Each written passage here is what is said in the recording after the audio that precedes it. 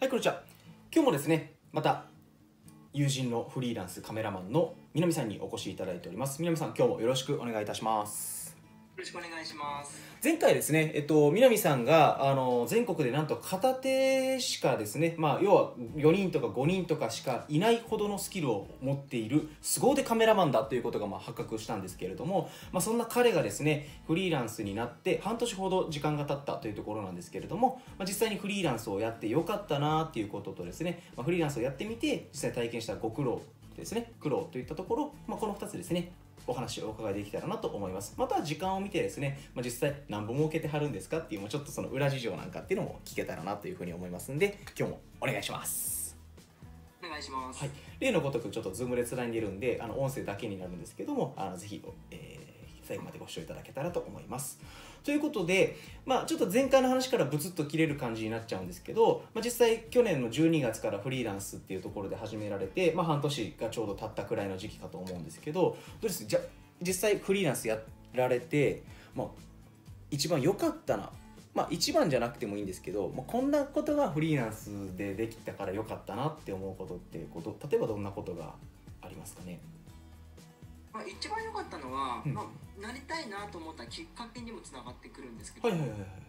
僕がもともと勤めてた会社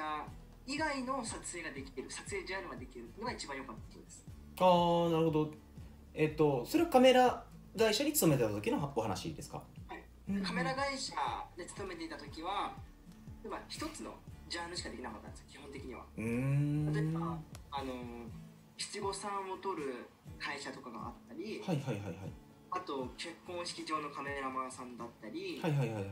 あとはそういうスイミングスクールさんの写真を撮るはいはい会社であったりあと料理を撮る写真だったり、はい。大体会社によってこのジャンルこのジャンルこのジャンルって決まってくるんですよ。ん。これをフリーランスでやることによってその垣根を飛び越えることができるんですね。ああなるほどですね。ブライダルもできれば、スポーツクラブもできれば商品の撮影もできれば料理も撮れるっていう何でもできるようになるのでだから自分の腕が忙しくはあの大変ではありますけどはい。いろ何でも撮れるようになってくるのでそれが一番良かったなとは思ってます。なるほど。もともとその南さんとしては幅広く写真を撮るっていうことが、まあ、一つ目標というかやりたいことだったっていうそうですだからフリーランスになったっていうのはありますうーんなるほど。でまあその中でもやっぱりこう自分の腕を磨かれて得意ジャンルはこれですっていうのが今固まってきたっていう感じなんですかね。そうですね。うん。なるほど。わかりました。じゃあその反対にですねあの、まあ、実際フリーランスになってみてこれはきつかったなとか辛かったなっていうお話とかって何かありますか？まあもうそれは一番はもうこのコロナですよね。ああなるほど。まさに。まさに。で僕の今のメインが結婚式場とはいはいはい。学校関係スポーツ関係3つなんですよ。あ前回おっしゃってたスナップショットに関係するやつですね。はいあとはその卒業式の写真とかも撮ったりするんですけどはい。はいやっぱり今学校が全部自粛になってるっていうのと、はい。あと結婚式場の結婚式が中止になってるってういうのとん。スポーツクラブも今自粛になってるっていうので、はい。3つとも埋まってるうんなんで今えっと4月5月6月6月に入ってた仕事全部キャンセルになってしまうおお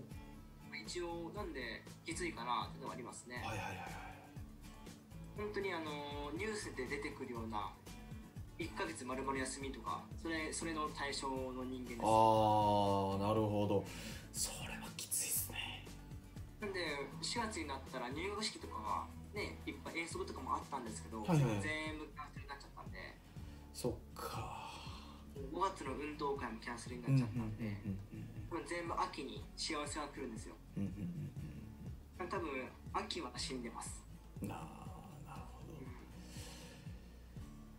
そうか4月とか5月とかっていうのはそういう今言ったような入学式とか遠足とかそれから運動会っていうのも書き入れ時っちゃ書き入れ時になるなるんですよね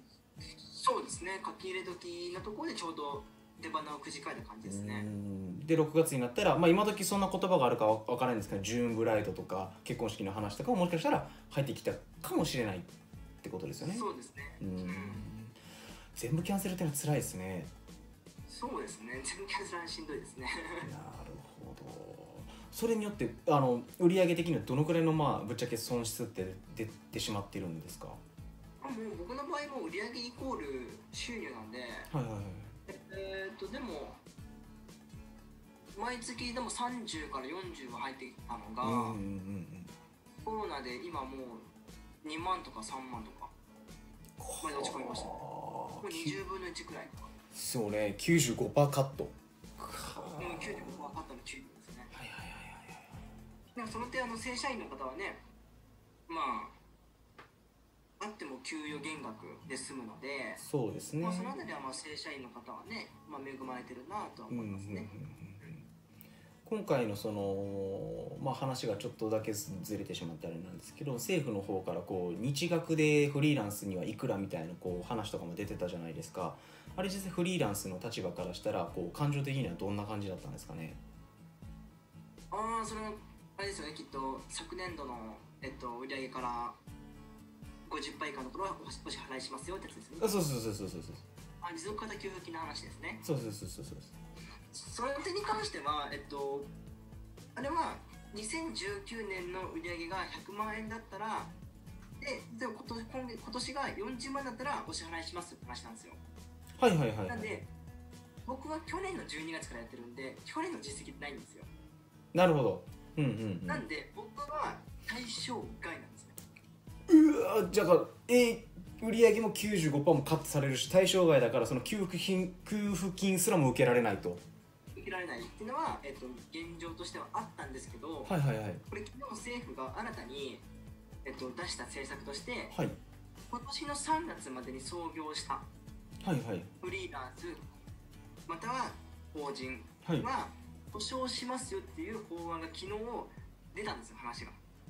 昨日、えー、と今日のこの撮影日が5月の23日なので5月の22日ってことですね。2221に出たんですよ。へ新しく出たのでそれがまた3月までの創業に引っかかるのであれば僕はもらえる立場になるので、えはいはいはい、はい、まあそれはぜひあとは思ってます。申請を上げてってことですよね、はい。うん、なんであの今年創業昨年創業の会社はほとんど対象に入らなかったので、はいはい。その不満がた高まってたっていうのがまあ政府に届いたんでしょうねこれが。まあでしょうね。だって上げあの立ち上げた方々の方が、まあ、言ってしまえばあの資金云々とかっていう話で言ったら、まあ、潰れてし潰れやすい対象になってしまいますもんね。はい。そうなんですそうんギリギリ入れるようになったんで、まあ、よかったかなとは思ってます。そうですよね。なるほど、まあ、そうは言ってもそれでも3月4月5月、まあ、6月の売り上げっていうところがもう大幅にカットされてますからいくらもらったとしても全然賄えないじゃ賄えないですよね。金額的には。そうですね、うん。まあ、そんな中でもああどうぞどうぞ。あいい。えまあだから、まあ、3月4月5月の、まあ、給与をちゃんと提示すればその分返ってくる可能性があるので、まあ、うん。これからどうなるかちょっと動きはチェックですね。うん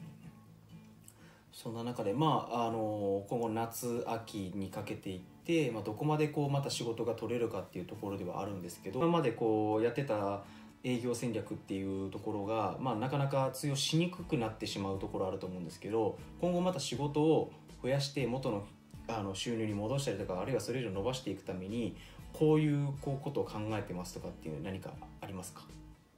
あーいやまあ特には考えてはないですけど基本的にその状況さえ戻ってくれこれば、うん。まあ、写真は必要になってくるものなのではいはいはい例えば結婚、まあ、コロナが収まれば結婚式あげる人も増えてくるだろうしはい。はいコロナが収まってこればスポーツクラブはは始めるだろうし、うん。コロナが収まってこれば卒業式の写真を撮るようになるだろうし、はい。ループもやるだろうし、はいはい。なんでとりあえずもう全ての事業が回っていけば自然と僕らにも仕事が回ってくるっていう形にはなってるので今は特には待つっていうのが一つ、まあ、それ以外にも今他に仕事がなんかできたらなと思って探しているところではありますね。う、んなるほどですね。まあ、まあ特に何をするかって決めてはないんですけはいはいはいはいはい。ど、まあ、カメラ以外の仕事もなんかできたらなとは思ってます。はい。なるほど。分かりました、じゃあまああの打つ手がないわけじゃないですけど、まあ、あのコロナに対しては待つということで、まあ、状況回復すればまた仕事っていうのはこう徐々に徐々に日常的なものに戻っていくと思うんですけど、まあ、そんな中で、まあ、最後せっかくですから、まあ、フリーランスに憧れている人たちもいると思いますしあるいはカメラマンに憧れてる人たちとかもいると思うので、まあ、メッセージみたいなところでここう南さん？が南さんがあのぜひですねあの今後カメラを通してまあ、実現したいこととか送りたいメッセージとかっていうものがあれば最後ぜひあのご覧になっている皆さんに送っていただけたらなと思います。あそうですね。まあ一概にもフリーランスとかあのカメラマンっていうとすごいかっこいいねとか言われることはあるんですけど、でもそれ以上にやっぱりあの大変なことが多いんですね。その一つの営業にしかりカメラ技術にしかり仕事にしかり。なのであの憧れだけでやると多分おそらくすごく大変だなって思われることが多いと思うんですけどそれでも自分は、フリーランスって形でやっぱり生きてみたいんだっていう気持ちがあればそのフリーランスという生き方を好きになれば多分やっていけるとは思いますので自分の好きなこととかやりたいことこういう風にやっていきたいんだっていう気持ちをとにかく固めてから始めるとフリーランスやカメラマンは、ね、いい道だなと思いますので、まあ、もしなりたいよって方がいらっしゃったらまずはフリーランスという仕事を愛することから始まるかなと思います。はい、ありがとうございます。まあ、もしですねこの動画をご覧になってあの私のチャンネルを見てくださってる視聴者の中でフリーランスをちょっと考えてますとか目指してますとかっていう方がもしいらっしゃればこれは例えばですけどコメントとか Twitter の DM で私宛にそういう連絡があったら南さんとあのややり取りをしていただくっていうことはお願いしてもいいんですかね？あ OK です。大丈夫ですよ ごめんなさいね。今僕の質問するタイミングが悪くて彼あのお水を飲みながら あの答えていただいたんでずっとこれ出してくださってました。ということなのであの、まあ、フリーランスをこれから考えてますとかあの始めたばかりですとかっていうですね今後どうしていったらいいかっていうふうに考えてらっしゃる方はぜひ私の方にまずは通していただければあの彼とつないでアドバイスとか実際に一緒にお仕事をを、まあ、もしかしたら中にはできる方とかもいらっしゃるかと思いますので、まあ、その際はぜひご連絡をいただけたらというふうに思います。ということで、まあ、あの初の対談動画ということだったので、まあ、私もなかなか慣れない進行とか質問もちょっとあやふやなところがあってしまってちょっと南さんにはですねいろいろとお付き合いいただいたところはあるんですけれどもあのこれを見ていただいている方が、まあ、ぜひ今回面白かったなと思ったらまた別の方とかとつなぎながらですね対談動画っていうのを上げていけたらなというふうに思いますでまた機会を見て、えー、南さんですねあの直接出演していただくかまたこういったズームみたいな形でぜひ出演をしていただいて、まあ、近況あのあれからどうなりましたかみたいなお話とかっていうのもまた日を改めてできたらというふうに思いますのでまたぜひご出演をお願いできたらと思います。はい。返事してくれないということでね。うなずくけど「はい」と言わないと。ということでなんか最後あのー、お伝えされることとか特にありますか？なないですかね？そうですね。もしもあの写真を撮ってほしいよとか、うん、あのありましたらぜひあのご連絡いただければあのいろいろと相談に乗りますのでよろしくお願いします。そうですね。あのカメラ撮ってほしいとか写真興味あるって方はぜひあのコメントとか残してくださればつなぐようにいたします。あの実際私も何枚か写真を撮っていただいたことがあってすごいやっぱ綺麗なんですよ。でやっぱり iPhone とかあのスマホとかで撮る写真と比べたらもう全然写りも違うし表情も違うと。ただ被写体があまりに悪すぎる画性にあの顔だけがブサイクであと全て完璧みたいな写真とかが出来上がったりとかもしているんですけどね、まあ、それはいいとして、まあ、彼のあの写真の技術っていうのはもう5年ほど前に何枚か撮ってもらったあのものがいくつかまだ私の手元に残ってるんですけどおそらくもうそこから格段にレベルアップしてると思いますんであのぜひですねあのカメラを撮ってほしいな写真撮ってほしいなっていう方はあの彼にコメントを残していただけたらというふうに思います。ということで、えー、本日も最後までですね動画ご視聴いただきましてありがとうございました。そして南さんありがとうございました。りがとうございました。ではまた次回の動画でお会いいたしましょう。本日もお疲れ様でした。さよなら。バイバイ。バイバイ。本日も動画を最後までご視聴いただきましてありがとうございました。この動画が面白かったな。役に立ったなという方はですねぜひグッドボタンとそれから下のチャンネル登録ボタンもお願いします。それから皆さんの強みを引き出したりとかあるいは伸ばしていくそんなですねコーチングもやっています。興味のある方セッションを受けてみたいという方はコメント欄もしくは、D、え Twitter の DM からお願いします。それではまた次回の動画でお会いしましょう。お疲れ様でした。さよなら。バイバイ。